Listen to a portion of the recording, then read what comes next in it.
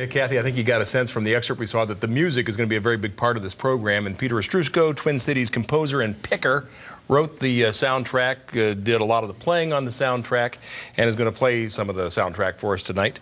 Uh, Peter, how long has the soundtrack been in the making? Boy, that's a good question. Uh, uh, two, three years? Mm-hmm.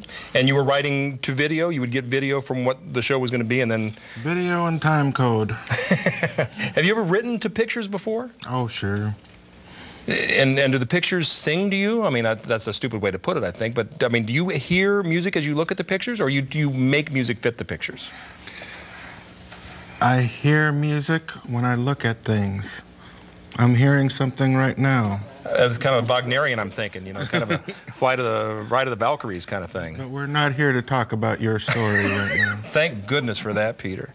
Um, Arkady Yushin has got his guitar. You've got your mandolin. You're going to play us one of the tracks from the soundtrack. And the CD soundtrack, by the way, is out in stores right now. It's on Red House Records, Minnesota History of the Land. You can hear the music even before you see the show.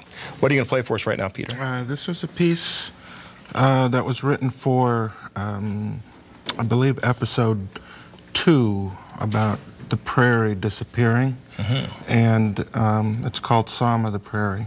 Very nice.